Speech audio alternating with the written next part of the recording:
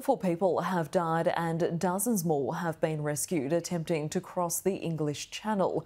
The new UK Home Secretary is facing pressure to act after promising to bring down criminal smuggler gangs prior to the country's election. In Boulogne, the end of a grim twilight rescue operation.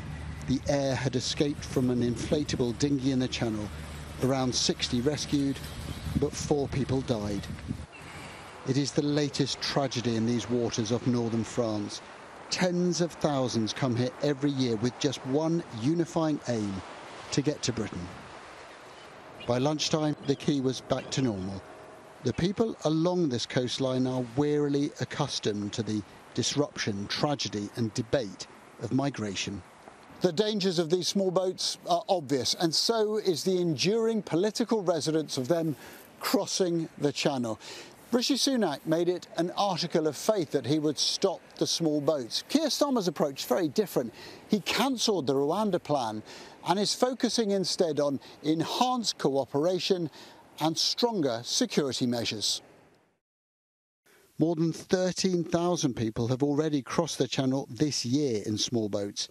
The new Home Secretary promising a tough response. The further loss of life in the channel this morning is truly awful wrote Yvette Cooper. My thoughts are with all those affected.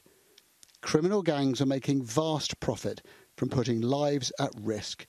We are accelerating action with international partners to pursue and bring down dangerous smuggler gangs.